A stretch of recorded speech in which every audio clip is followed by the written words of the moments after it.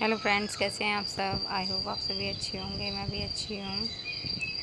मैं आज बहुत दिनों के बाद आई थी एक्सरे कराने तो बराबर में मॉल था तो मैं वहीं चली गई थी। तो ये थी हमारी सीढ़ी, ये कुछ लगे हुए थे बच्चों के टॉयज़ जो बच्चे खेलते हैं।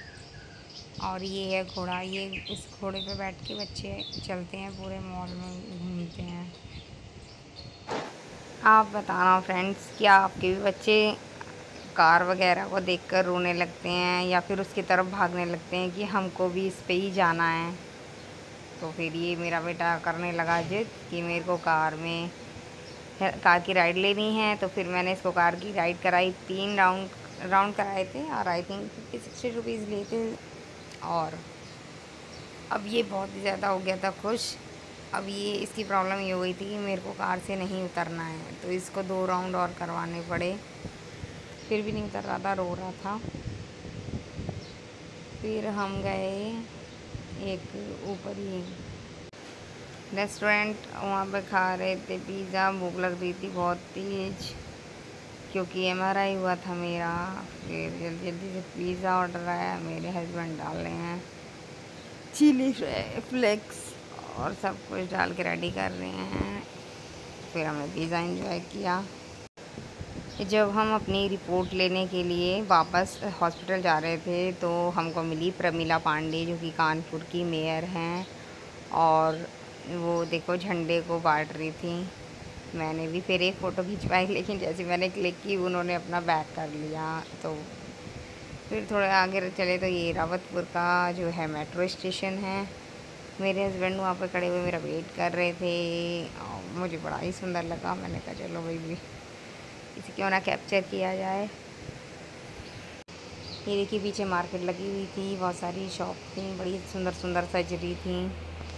तो अच्छा लग रहा था मुझे। और फिर हम आगे पहुँचे, ये शायद मोती झील है। मोती झील मेट्रो स्टेशन नहीं नहीं, यहाँ भी हम रावतपुर में ही हैं। वहाँ से क्रॉस कर रहे हैं।